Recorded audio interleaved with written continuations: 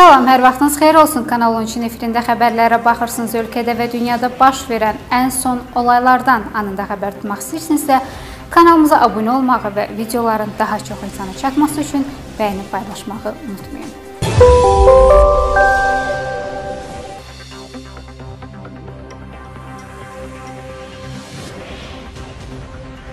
Naxçıvanın Ensaylı hərbi hissəsində maxi çalışan Şaiq Pənahov bayraq dirəyinə dırmaşaraq özünü oradan yerə ataraq intihara cəhd edib. Buna səbəb isə rabitə vasitəsinin itməsi olub. Maxenin əskər yoldaşları deyir ki, əslində rabitə vasitəsi itməyib. Maxedən 10 min manat pul almaq üçün qəsdlə uğurladılıb. Pənahov isə buna etiraz edərək bayraq dirəyinə dırmaşaraq intihara cəhd edib. Hərbçilər deyir ki, bu Şahbuz şəhərindəki Ensaylı hərbi hissədə ilk belə hadisə deyil. Onlar təlim zamanı rabitə vasitəsinin kim tərəfindən uğurlandıqlarını da bilirlər. Bu işi görməkdə məqsəd isə Şaiq Pənahovu çərmələyib pul qoparmaqdır. Hərbçilər deyir ki, ondan qurğunu alıb yerinə qoymaq üçün 10 min manat pul tələb edirlər. Demişdilər ki, verməsən xəyanət maddəsi ilə cinayət işi açılacaq. Pənov isə çıxış yolunu özünü öldürməkdə görüb. Hərbiçilər deyir ki, saxta oyunlar qurub əskər və zabitləri yüksək məbləğdə cərimələmək hərbi hissədə heç də ilk hadisə deyil. Hərbiçiləri məcbur edirlər ki, gedib kredit götürüb həmin cəriməni ödəsinlər. Ödənilən pul isə kimlərinsə cibinə gedir. Bundan əvvəl Rəvan Babayev adlı hərbiçini 30 min manat cərimə etmişdilər. Buna görə də o dərman içərək intihar etmişdi. Hərbiçilər bu işin başında Naxçıvan qoşunlarının rəhbəri general polkovnik Kərəm Mustafayevin durduğunu iddia edirlər. Xatırladaq ki, oktyabrın 24-də Şahbuzdakı hərbi hissədə intihar hadisəsi baş vermişdi. Hərbi hissənin 23 yaşlı maxisi Mayıl Kazımov xidməti silahdan atəş açaraq özünü öldürmüşdü. Hadisə rəsmən təsdiqlənsə də intiharın səbəbi haqqında məlumat verilməmişdir.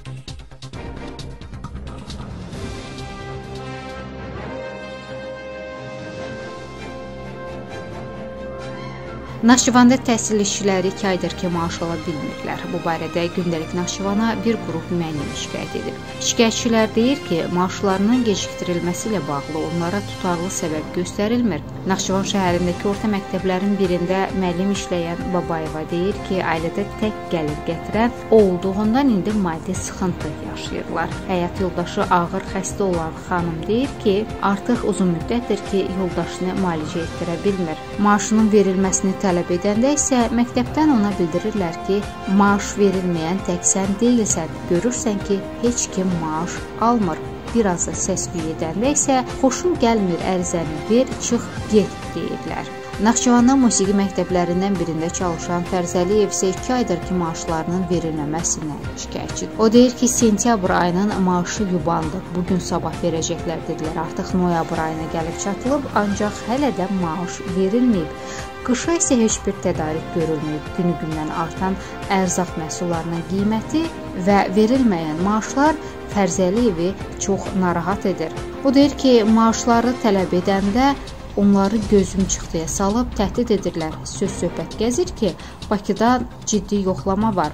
Bitdikdən sonra veriləcək. Da deyirlər ki, maliyyət çatışmazlığı var. Məsələyə münasibət bildirən Naxçıvan Maliyyə Nazirliyi isə deyib ki, nazirlikdən maaşların verilməməsi müvəqqəti maliyyə çətinliyi ilə əlaqəlidir.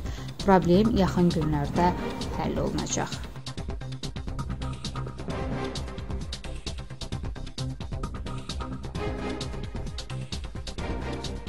Naxçıvan şəhərindəki aviakassa və hava limanındakı kassalar qarşısında uzun növbələr yaranıb. Gündəlik Naxçıvanın verdiyi məlumata görə buna səbəb əlavə təyyarə reyslərinin təxirə salınmasıdır. Şikayətçilər deyir ki, Bakıya bilet yalnız uzun növbə gözləməklə, həm də ən yaxşı halda 4-5 gün sonra almaq mümkündür. Biznes klass adı ilə 170 manata satılan bileti isə istənilən günə və saata növbəsiz almaq mümkündür.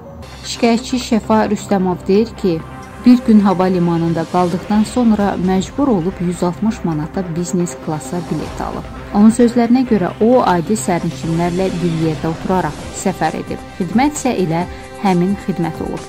Heç bir özərliyi olmayıb. Tək fərq isə ondan ibarət idi ki, əvvəlcədən aviakassadan bilet alanlar həmin bileti 60 manata, onlar isə 160 manata almışdılar. Öncədən aviakassada bilet satılarkən hər reysdən 40 yer biznes klass üçün saxlanılır. Həmin yerlərə sata biləcəkləri qədər satırlar. Əgər yerlər hamısı satılmırsa, qalan yerlər təyyarə qalxana yaxın işbazlar tərəfindən daha ucuz qiymətə, yəni 100 manata satılır.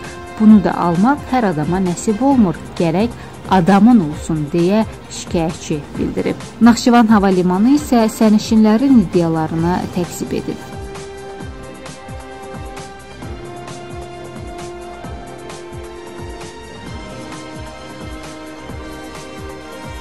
Naxçıvan Muxtar Respublikasının Dövlət Təhlükəsizliyi Xidməti ləğv edilib.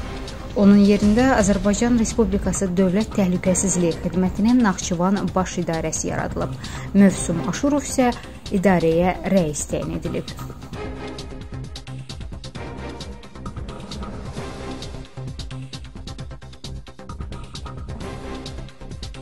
Real Partiyasının üzvü iqtisadçı Natiq Cəfərli Naxçıvan DTX-sının ləğvini Naxçıvanın Muxtar Respublika statusunun ləğvinə hazırlıq kimi dəyərləndirib. O deyib ki, unitar ölkə olan Azərbaycanda heç bir ərazinin özəl statusa ehtiyacı yoxdur. Stat belə başa düşürəm ki, Naxçıvanın Muxtar Respublika statusunun ləğvinə hazırlıq sürətləndirilir və bu doğru yanaşmadır. Amma bu addım illərin dediyimiz hüquqi bazası konstitusiya islahatları ayağı mütləq olmalıdır. Yeni konstitusiyada bir çox məsələlərlə yanaşı ölkənin inzibati ərazi bölgüsü də dəyişdirilməli, yaradılmış 14 iqtisadi rayon inzibati ərazi vahidinə çevrilməli, yerli özünü idarə etmək gücləndirilməli, böyük şəhər bələdiyyələri və seçkili ner institutu təsis edilməlidir. Bu, həm də Xankəndində yaşayan erməni əsilli azərbaycanlıların ölkəyə siyasi, iqtisadi, inzibati, sosial inteqrasiyasında sürətləndirəcək. Statın sonu.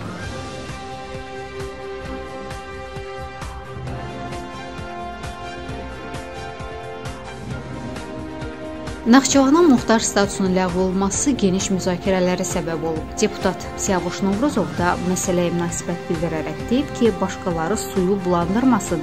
İndiki dövrdə sülh müqaviləsinə hazırlıq getdiyi bir vaxtda bu mövzunun müzakirə olunması düzgün deyil.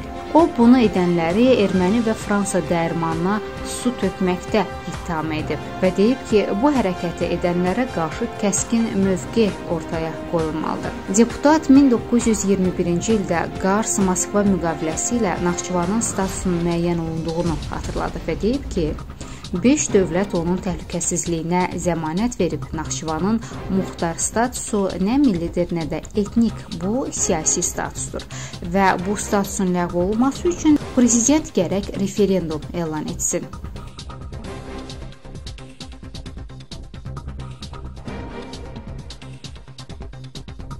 Və sonunda həftə sonuna gözlənilən hava haqqında məlumatı diqqətinizə çatdırırıq. Milli Hidrometeorologiya Xidmətindən verilən məlumata görə noyabrın 6-sında Bakıda və Abşeron yarımadasının bəzi yerlərində yağış yağacaq. Şimal-qərb küləyi əsəcək. Havanın temperaturu Bakıda və Abşeron yarımadasında gecə 9-11, gündüz 11-13 dərəcə isti olacaq. Atmosfer təzyiqi 770 mm civə sütunu təşkil edəcək. Nisbi rütubət isə 80-90% olacaq. Azərbaycanın rayonlarında da yağış yağacaq. Ayrı-ayrı yerlərdə intensiv olacağı, dağlıq ərazilərdə isə qar yağacağı ehtimalı var. Qərb küləyi bəzi yerlərdə arabir güclənəcək. Havanın temperaturu gecə 4-8, gündüz 11-13 dərəcə isti, dağlarda gecə 3 dərəcə şaxtadan 2 dərəcə ilə isti, gündüz 5-9 dərəcə isti olacaq.